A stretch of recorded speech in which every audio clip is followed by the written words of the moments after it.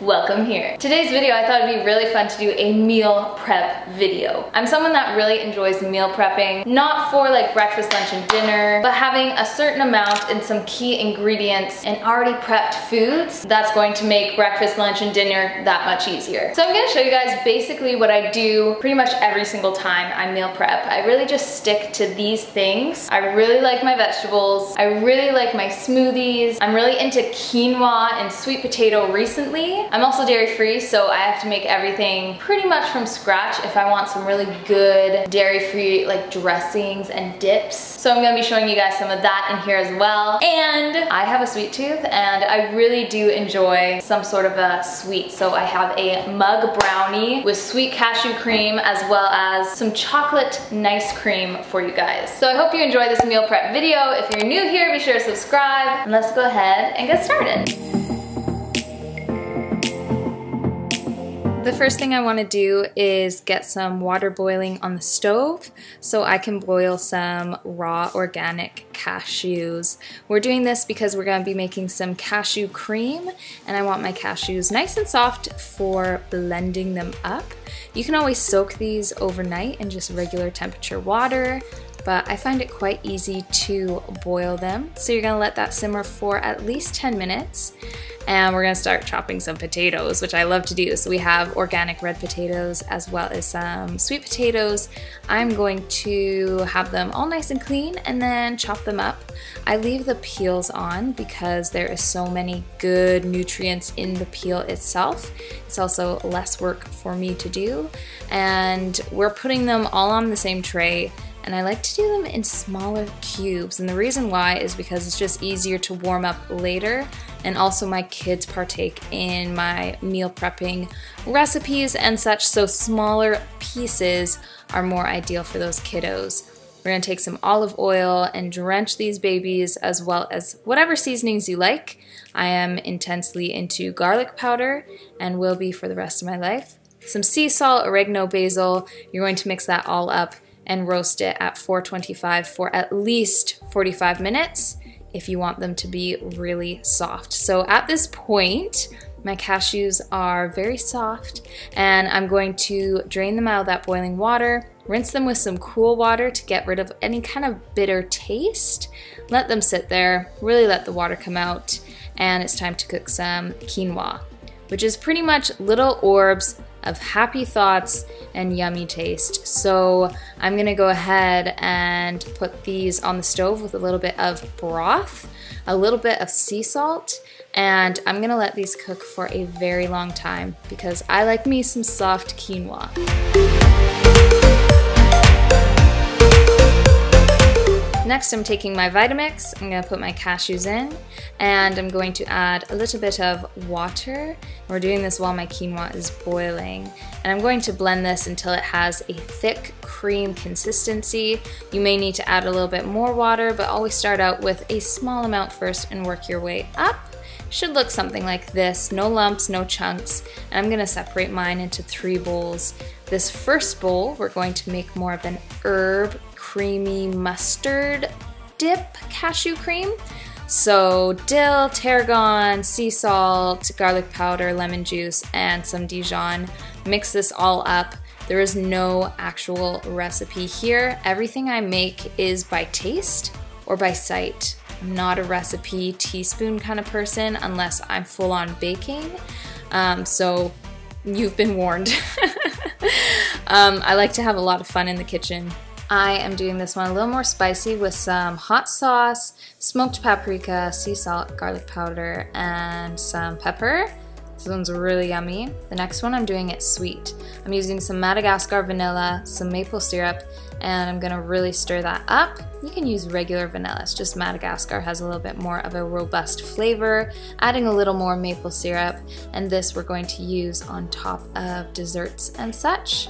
You can also put it on top of your oatmeal uh, which is really delicious as well. So our quinoa is all done cooking and I'm going to put this into a glass container. I really like my Snapware containers. I kind of upgraded from my plastic Rubbermaid. These I just feel better about putting hot items into and feel better about warming it up in the microwave. Next, we're gonna warm up some olive oil in a pan. A lot of people think I'm vegan, I'm not. I eat a lot of vegan food, I guess. and I go for a lot of vegan choices, but I do really enjoy ground turkey. So this is organic and it's really yummy. I'm just going to cook this up and I'm going to season it very simply with some sea salt and pepper. I like having this as extra protein and my husband really enjoys having this in um, the fridge for easy access. And again, we're just gonna put that into a glass container.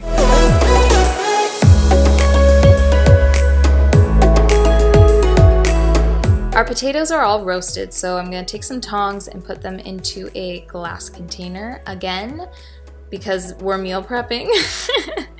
so I'm gonna go ahead and do that. The potatoes are super soft, which is exactly how we like them. I'm gonna start chopping up some more vegetables. This is green onion and it's easy to top on really whatever kind of savory dish that you like. It's really fresh. Love the taste of green onion. We're gonna go in with some green beans as well and some zucchini. I put this in the same container because I usually cook them together so it's just very easy for me to do. I really enjoy the combination of that bean with more of like that kind of zucchini cucumber light taste. It's really beautiful. I'm also to take some red peppers because we need something for our dip to be dipped by and I really like red pepper and cucumber as well.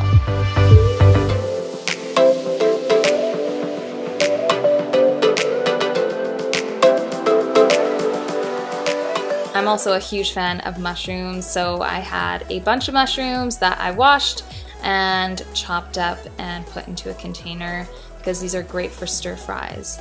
Also, I always have on hand a huge bag of frozen spinach. It's really affordable, it's easy to throw into pastas and smoothies and stir fries, and it's delicious. I also have these stasher bags of frozen bananas. These are great for nice cream. This is great for smoothies and also baking. So I always have those on hand and it's actually really important for me to have those for my meal prep. Next, we're making a brownie mug mix. This is vegan and really yummy. So it's three quarter cups of flour. I put mine in a jar. It's kind of messy, but it works well um, when you're actually using it three quarter cups of cocoa powder. I have a lot of unsweetened cocoa powder. And then three quarter cup of organic cane sugar. I'm going to do a teaspoon of baking powder and a little bit of sea salt. I'm gonna go ahead and put the lid on and I gotta shake, shake, shake this up so it's nice and mixed and keeping it in a mason jar is really easy for when you're going to use it. But that is everything peeps. So I'm going to put the lids on, make them nice and safe and secure. And we're gonna put these in the fridge and I'm gonna show you guys how I use all this stuff, give you a little bit of inspiration. Me being dairy free and heavily relying on bananas, I make myself nice cream a lot of the time. So it's not ice cream, it's nice cream. So it's just bananas.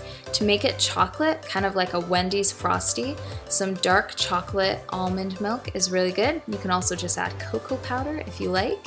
You're going to blend that up and it is just creamy, delicious. I add coconut flakes and cacao nibs. And of course I have that beautiful sweet cashew cream and a little bit of cinnamon on top and this is a beautiful summer treat. For our mug brownie, I really don't measure out too much. I'll put some scoops of the dry mixture in the bottom, add a little bit of milk so it's just kind of that thick creamy texture, some oil as well, just a little bit, and you're going to stir this up until it is fully mixed. You don't want any lumps or anything. Put it into your microwave. I do my first kind of sequence of time at 40 seconds.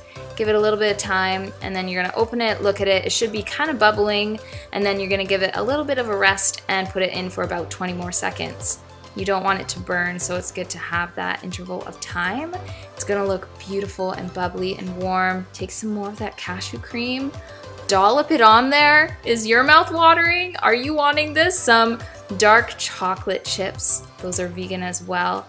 And man, oh man, This is so good. It's really quick and easy. If you have people coming over all of a sudden and you want just a yummy treat for them, this is what you do and it's really, really fun.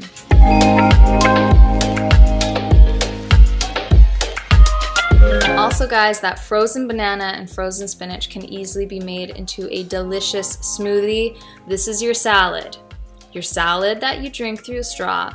Add some protein powder and almond milk and blend this up. It's delicious, it's easy, and it's delicious. My Vega protein powder and vanilla is what makes this so good and sweet, and it's a very easy snack to do. On the side, I will do some veggies. I usually do this for my kids, so I have more of that like warm, spicy-ish cashew dip that I mostly keep for myself. And then I also have that herb cashew dip that the kids really enjoy. You just see the texture of these are amazing. So I'll serve this um, with some vegetables. You can do some crackers as well. You can even spread these on a sandwich and it's delicious and beautiful. And I eat this all the time. Next, we're going to turn on that stove and I'm gonna show you guys how I make my veggie bowls. So I do a little bit of olive oil, whatever kind of greens I have, usually that are going bad. and I'm going to take some vegetables. So I have that zucchini and green bean that are already chopped up. I have some mushrooms here and I'm going to add a little bit of that turkey as well and then stir this up really good. I like doing this because it's like whatever I have in my fridge or freezer that's kind of going bad, you can add it into here and it tastes really, really good kind of get to everything before it starts to expire, you know what I mean? We're also gonna do some garlic powder, a lot of garlic powder. I also do a good amount of sea salt. That's like my go-to seasoning combo.